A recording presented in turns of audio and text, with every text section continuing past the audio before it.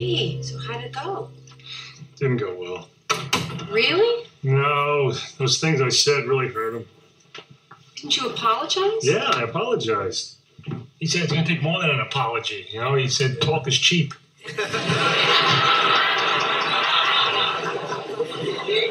Oh. Well, what are you gonna do? I don't know. I think he'd like it if I spend more time with him. Yeah, that would be good. He's thinking of like six days in Vegas.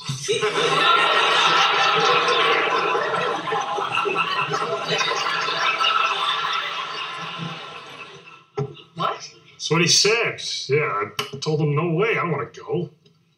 He got this hurt look on his face, you know, and then he turned his back to me. And I think he was crying because he did one of those. I don't know. Felt so bad. I don't know what I'm gonna do.